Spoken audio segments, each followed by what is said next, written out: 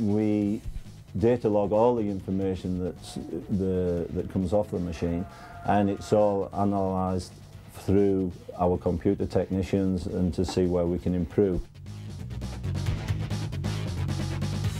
Data recording is important because it gives us the possibility to take real physical values into correlation with the rider feeling.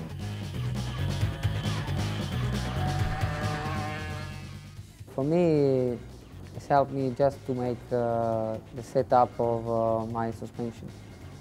Of course, I'm looking of the data so much and try to analyze and understand uh, where, we, where and when we can improve.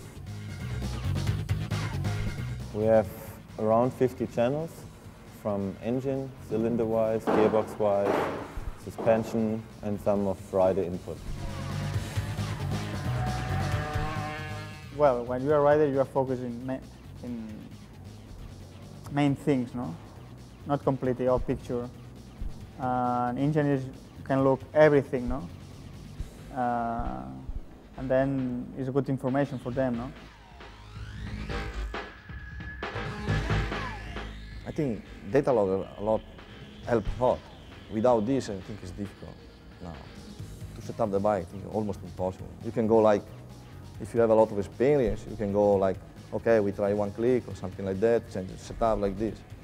Now with data logger, it's more, you go, you go in the right point where you, you can see the problem, you help, you help the rider very quickly. Uh, you know, we are we are working like a, a team between uh, chief mechanic and also the guy in charge of suspension. So we are looking together the, the data and when there is too much ribbon, for example, we try to, to change the tire to help the, the bike to, to have less ribbon.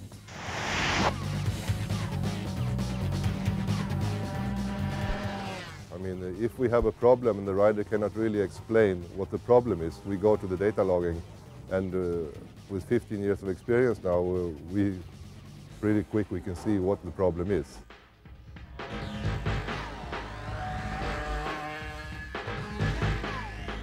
On the data log, we don't have the feeling sensor, so what rider can bring to the bike is the feeling.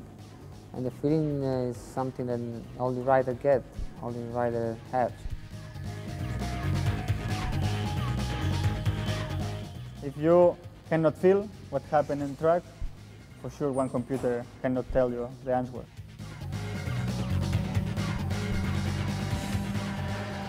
We have to have a rider telling us what he likes because it's different to what the next guy likes. But we can refine some of what he tells us and see if we're moving in the right direction or not uh, when we make changes to the bike.